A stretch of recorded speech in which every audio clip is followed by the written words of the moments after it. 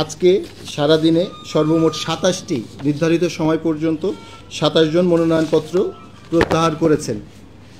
যাদের মধ্যে করেছেন, আমি দলীয় পরিচয় যদি বলতে হয়, বাংলাদেশ আওয়ামী লীগের পক্ষ থেকে একজন, জাতীয় পার্টি থেকে সাতজন, জাসদ থেকে একজন, জাতীয় পার্টি জেপি থেকে একজন, ইসলামিক ঐক্যজোট থেকে একজন, স্বতন্ত্র দুইজন, জাকের পার্টি তেরো জন এবং সাংস্কৃতিক ঐক্যজোট থেকে একজন এবং সেই বিবেচনায় এই সাতাশ জন বাদ দিলে আমাদের এখন মোট প্রতিদ্বন্দ্বী প্রার্থীর সংখ্যা একশো পঁচিশ জন। একশো সাতাত্তর ঢাকা চার। ঢাকার বৃষ্টি আসন নয় আমি রিটার্নিং অফিসার ঢাকা চার থেকে ঢাকা আঠারো। সুতরাং এই পর্যন্ত আমার আওতাধীন পনেরোটি আসনের বিষয়টা আমি এখন জানিয়ে দিতে পারি।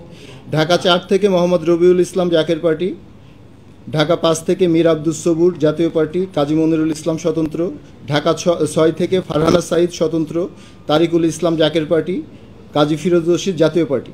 ঢাকা সাত থেকে বিপ্লব চন্দ্র বণিক জাকের পার্টি তারেক মোহাম্মদ আদেল জাতীয় পার্টি, ঢাকা আট থেকে মোহাম্মদ নজরুল ইসলাম লিটন জাকের পার্টি, ঢাকা নয় থেকে মোহাম্মদ মফিজুল্লাহ জাকের পার্টি, ঢাকা নয় থেকে নীলাঞ্জনা রিফাত জাতীয় সমাজতান্ত্রিক দল জাসুদ, ঢাকা নয় থেকে মোহাম্মদ লোকমান শেখ, ইসলামী ঐক্যজোট ঢাকা দশ থেকে মোহাম্মদ হুমায়ুন কবির জাকের পার্টি, ঢাকা এগারো থেকে মোহাম্মদ মাসুদ রানা জাকের পার্টি, ঢাকা তেরো থেকে মোহাম্মদ শফিকুল ইসলাম জাত- জাতীয় পার্টি, ঢাকা চোদ্দ থেকে Sheikh Sheikh Shahidul Islam Jatiya party JP Mohammad Zakir Hossain Zaker party, Mohammad Shafiqul Islam Jatiya party, Dhaka পনেরো থেকে মাইনুল ইসলাম জাকের পার্টি, ঢাকা ষোলো থেকে আমিনুল ইসলাম জাকের পার্টি, ঢাকা সতেরো থেকে গোলাম মোহাম্মদ কাদের জাতীয় পার্টি, ঢাকা সতেরো থেকে কাজী মোহাম্মদ রাশিদুল হাসান জাকের পার্টি, সালমা ইসলাম জাতীয় পার্টি, নাজমুন নাহার বাংলাদেশ সাংস্কৃতিক মুক্তিজোট ঢাকা আঠেরো থেকে মোহাম্মদ শরীফ হোসেন জাকের পার্টি এবং ঢাকা আঠেরো থেকে মোহাম্মদ হাবিব হাসান বাংলাদেশ আওয়ামী লীগ।